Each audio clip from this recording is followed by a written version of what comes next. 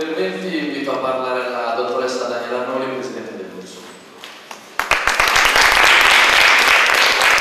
Allora intanto grazie all'Associazione Unica 2.0 per avermi invitato a questo congresso, anche l'anno scorso ho avuto piacere di partecipare e eh, ritengo che come eh, rappresentanti di un'istituzione sia un dovere quella di essere in questi, presente in questi momenti e confrontarsi e anche mettersi in discussione ascoltando quello che proviene appunto eh, da voi, dai giovani, perché a volte le idee che un rappresentante di un'istituzione può avere può non, eh, possono non corrispondere a quello che invece sono le vere esigenze. Invece se anche comporta eh, fatica perché eh, mette continuamente in discussione, è doveroso però che ci sia un confronto continuo e costante proprio per cercare di migliorare il proprio lavoro. Io non voglio fare questioni partitiche, io, voi lo sapete, sono emanazione diretta del Presidente della Regione perché la mia nomina da lì proviene, però ritengo anche che sia doveroso per chiunque rappresenti un'istituzione nel momento in cui ha un incarico spogliarsi di quelle che sono le visioni partitiche e ideologiche che deve comunque mantenere, per carità, per al di fuori di quegli ambienti ed essere rappresentante di tutti nello stesso modo. Quindi non esiste che, che uno sia di sinistra o di destra, decida di ricevere soltanto le persone del proprio partito o faccia delle azioni o metta in campo delle, dei servizi che riguardano soltanto una parte della popolazione, perché nel momento in cui appunto si diventa rappresentante di un'istituzione lo si è per tutta la popolazione, quindi è giusto dialogare e eh, approvare tutte quelle idee che provengono da qualunque parte, l'importante è che siano delle idee buone che possano avere una ricaduta su tutte. Credo fortemente nel bene comune, nel rispetto della gestione di denaro pubblico che è denaro di tutti noi cittadini, eh, messo in campo grazie al pagamento delle tasse e quindi anche lì massima trasparenza. È vero che questo non sempre è la consuetudine, però eh, dovrebbe essere presa proprio come buona pratica di gestione di un'istituzione pubblica. Ringrazio anche il Sindaco che ha ricordato il grosso lavoro che è stato fatto per portare avanti un progetto, il progetto del campus universitario e colgo qui anche l'occasione per darvi le ultime informazioni perché spesso leggo soprattutto su Facebook informazioni contrastanti, il campus non si fa più, non ci saranno più questi posti letto quindi questa occasione è buona per chiarire una volta per tutte che a seguito della delibera regionale del luglio del 2012 che ha sbloccato la situazione perché noi essendo un ente strumentale della regione dobbiamo attendere delle direttive, abbiamo messo veramente tutte le forze in campo, ERSU, Comune, Regioni ci siamo messi intorno a un tavolo per eh, non perdere dei finanziamenti pubblici che, andavano, eh, che si trascinavano eh, da diversi anni. È un progetto che era fermo da 12 anni, quindi in quattro mesi veramente, non dico che abbiamo fatto miracoli perché siamo persone terrene e ho massimo rispetto per i, i miracoli veri, però veramente, eh, come ha detto il sindaco, ci siamo messi pancia a terra per riuscire a ottenere il risultato e entro dicembre chiudere questa, questa faccenda con la pubblicazione del bando. Siamo nella fase di aggiudicazione provvisoria, ovviamente ci sono degli iter burocratici che purtroppo sono piuttosto lunghi perché prevedono dei tempi di verifica delle carte, delle, delle società che hanno partecipato al bando, però entro marzo ci sarà questa, eh, questa assegnazione, dopodiché eh, l'iter procederà e, e abbiamo avuto anche il controllo del Ministero che è andato molto bene, ovviamente siamo sotto monitoraggio perché essendo stato un progetto fermo per così tanti anni vogliono capire quali sono state le criticità ma il parere è stato più che positivo su quello che hanno visto fare veramente in questi due anni. E di questo non posso che ringraziare anche il Consiglio di amministrazione di cui è qui presente la consigliera Maras, che è espressione fra l'altro della vostra associazione all'interno del Consiglio eh, dell'ERSU, perché eh, veramente eh, abbiamo lavorato eh, tantissimo per, per, conseguire questo obiettivo. E restando oh, all'interno dell'argomento oh, dei, dei consigli di amministrazione, colgo l'occasione anche per fare un piccolo inciso. In momenti di crisi si fanno dei grandi proclami, eliminiamo tutti i consigli di amministrazione, facciamo un risparmio e qui in mezzo ci passano anche però poi enti come quello eh, del diritto allo studio che invece sono fondamentali perché è l'unico ente di riferimento per i giovani.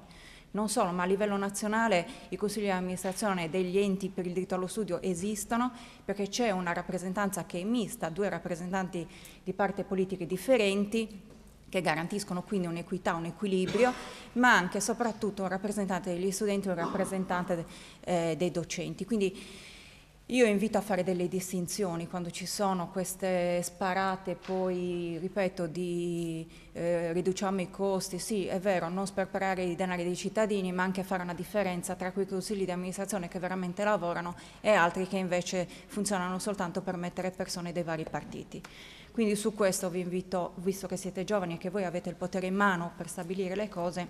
di fare delle serie riflessioni quando si tenta di resettare tutto e in quel tutto magari passa anche qualche cosa che invece è veramente importante e veramente buono. Perché io sono pronta e il Consiglio di amministrazione con me in qualunque momento a dimostrare il lavoro che dal 2010 ad oggi è stato fatto all'interno dell'ERSU, perché abbiamo veramente ribaltato la situazione. Non lo dico perché eh, voglia chissà quale merito, però sicuramente è cambiata la tendenza, molti di voi lo sanno, siamo tutti eh, disponibili nel momento in cui eh, ci sono dei problemi che vanno risolti. Eh, ci siamo dati da fare soprattutto per aprire la generalità degli studenti, perché l'ente regionale per il diritto allo studio è vero che deve avere come priorità quella eh, fascia di studenti che non hanno i soldi per poter accedere al diritto allo studio, ma anche è vero che eh, eh ci sono ben 28.000 studenti quest'anno, prima erano molti di più,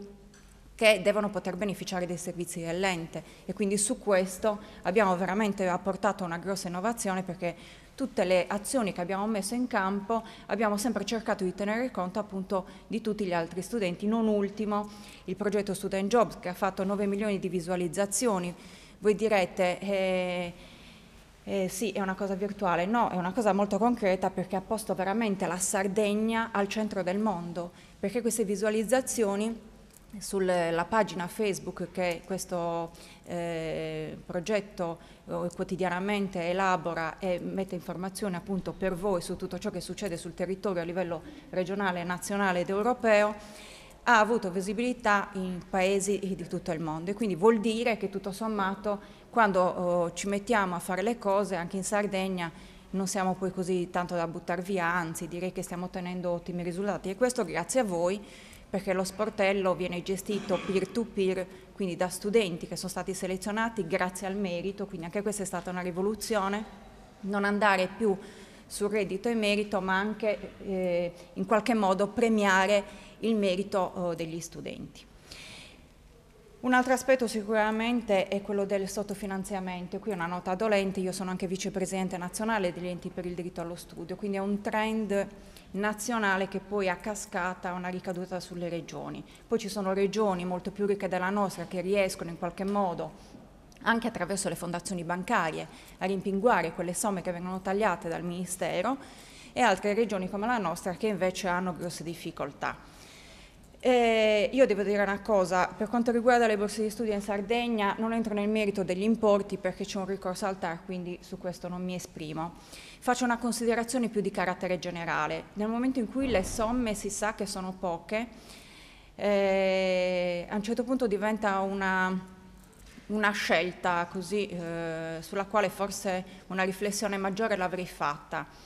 Eh,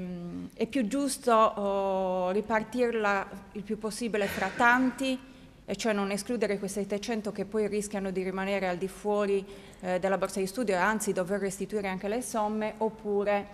eh, dare soltanto le somme a quelli che in base ai parametri ministeriali eh, consentono di avere un importo maggiore, però è ovvio che eh, la, la coperta si restringe, quindi il numero di beneficiari è inferiore. Allo stato attuale ricordo che per poter ehm, rispondere a tutte le richieste degli idonei e, e eliminare quella eh, antipaticissima categoria di idonei non beneficiari ci sarebbero voluti ben, ben 6 milioni in più. È anche vero che allo stato attuale, voi sapete, l'importo della borsa viene eh, formato da tre, eh, da tre, enti, quindi dal, dal Ministero, dal, dalla Regione che deve garantire almeno il 40%, in questo momento la Regione sta garantendo più del 40%, e una parte della tassa regionale. E anche qui sulla tassa regionale una riflessione eh, seria va fatta, perché eh, voi sapete che col decreto 68 che è passato l'anno scorso, sulla quale veramente, scusate se ve lo dico, ma sarei scesa in piazza, e io l'ho denunciato in, in più occasioni, però è un po' passata sotto, sotto il naso.